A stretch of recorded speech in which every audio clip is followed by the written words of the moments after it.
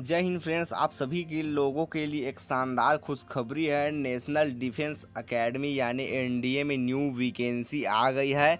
आप form fill up कर सकते हैं। उन सभी के बारे में आपको पूरा डिटेल्स के साथ इस वीडियो में जानकारी मिल जाएगा।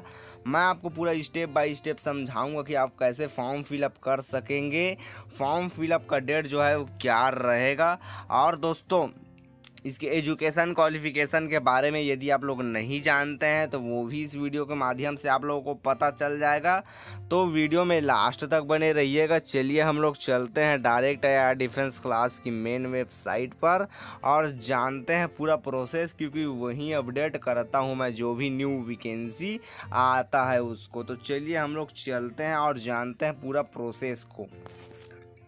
आप लोगों के लिए यह शानदार अपॉर्चुनिटी है कि आप नेशनल डिफेंस एकेडमी में जा सकते हैं या फिर नेवल एकेडमी में भी जा सकते हैं। इसका फॉर्म फिलअप का डेट जो है वो स्टार्ट हो चुका है। सत्रह मई से स्टार्ट हो चुका है। आप फॉर्म फिलअप कर सकते हैं एनी अदर कंप्यूटर सेंटर में या फिर अपने से ही फॉर्म फिलअप कर सकते हैं। लास्ट डेट जो आपका रहेगा वो छः जून 2023 को रहेगा। शाम के छः बजे तक रहेगा दोस्तों। लास्ट डेट जो फ़ीस पेमेंट का है, वो छः जून ही रखा गया है।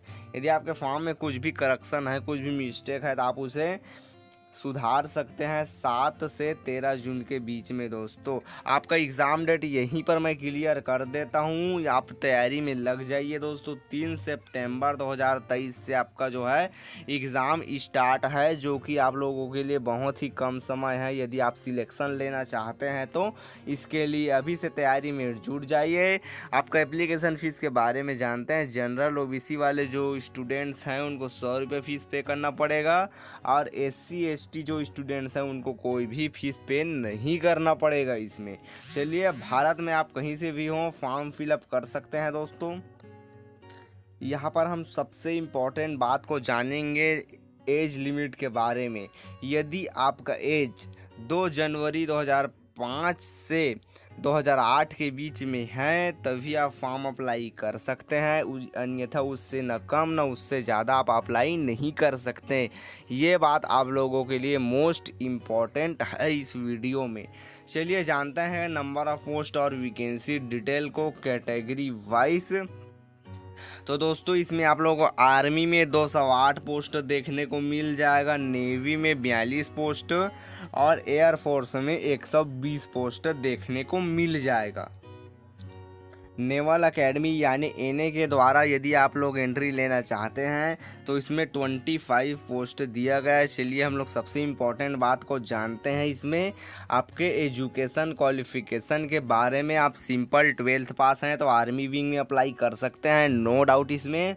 और एयरफोर्स एंड नेवल विंग में यदि आप ट्वेल्थ पास हैं, साथ में आपने फिजिक्स एंड मैथमेटिक्स सब्जेक्ट रखा हुआ है, आपने उसमें स्टडी किया हुआ है तो आप इसमें अप्लाई कर सकते हैं।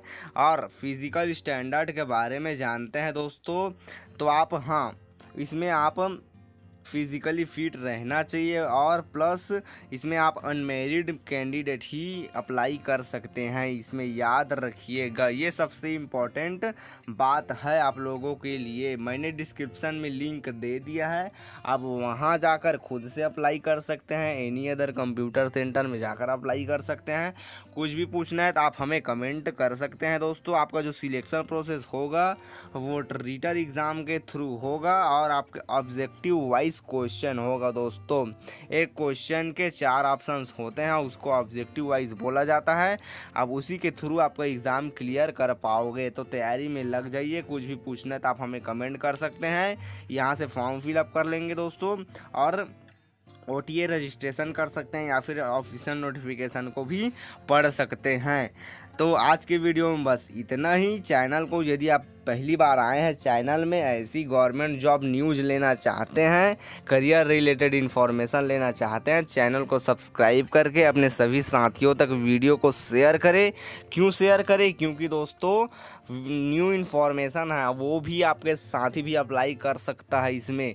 और उसको भी अच्छा अपॉर्चुनिटी मिल सकता है। तो चलिए हम लोग ऐसी एक और इम्पोर्टेंट इन्फॉर्मेशन वीडियो के साथ अगले वीडियो में मिलते हैं। तब तक के लिए जय हिंद, वंदे मातरम।